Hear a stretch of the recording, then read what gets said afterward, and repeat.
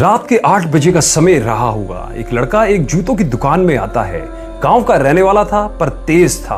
उसका बोलने का लहजा गाँव वालों की तरह का था, परंतु बहुत ठहरा हुआ लग रहा था। उम्र लगभग 22 वर्ष का रहा होगा। दुकानदार की पहली नज़र उसके पैरों पर ही जाती है। उसके पैरों में लेदर के शूज़ थे। सही से पॉलिश किए हुए, दुकानदार, क्या सेवा करूँ? लड़का, मेरी माँ के लिए चप्पल चाहिए, किंतु टिकाऊ होनी चाहिए।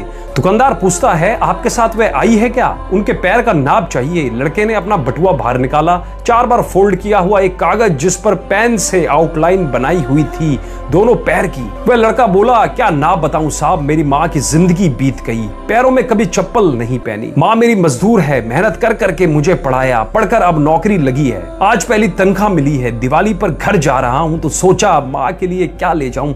तो मन में आया कि अपनी पहली तनख्वाह से माँ के लिए चप्पल लेकर आऊँ। दुकानदार ने अच्छी टिकाऊ चप्पल दिखाई, जिसकी आठ सौ रुपए कीमत थी। चलेगी क्या? आगंतुक लड़का उस कीमत के लिए तैयार था। दुकानदार ने सहज ही पूछ लिया, कितनी तनख्वाह है तेरी? अभी तो बारह हज़ार रहना खाना मिलाकर सात आठ हज़ार खर्च हो जाएगी। यह यहाँ और तीन हज़ार माँ के लिए। अरे फिर आठ सौ रुपए कहीं ज़्यादा तो नहीं? दुकानदार बोला तो बात को बीच में काटते हुए लड़का बोला, नहीं, कुछ नहीं होता। दुकानदार ने चप्पल बॉक्स पैक कर दिया। लड़के ने पैसे दिए और खुशी खुशी दुकान से बाहर निकल गया। पर दुकानदार ने उसे कहा, थोड़ा रुको। साथ ही दुकानदार ने एक और बॉक्स उस लड़के के हाथ में दिया। ये चप्पल माँ को तेरे इस भाई की ओर से गिफ्ट कर देना। माँ से कहना, पहली खराब हो जाए तो दूसरी पहन लेना। नंगे पैर नहीं घूमना और इसे लेने से मना मत करना। दुकानदार ने एकदम से दूसरी मांग करते हुए कहा, उन्हें मेरा प्रणाम कहना और क्या मुझे एक चीज़ दोगे?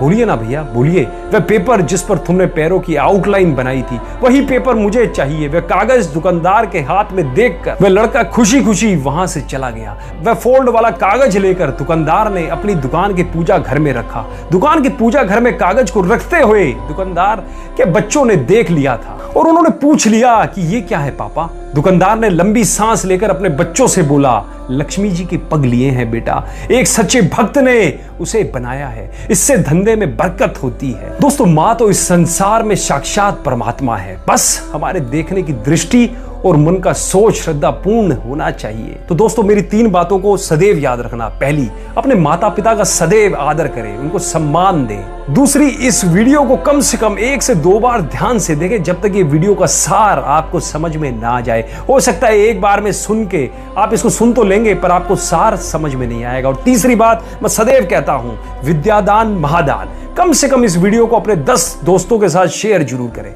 जिनसे उसको भी इस वीडियो का लाभ मिल सके। धन्यवाद।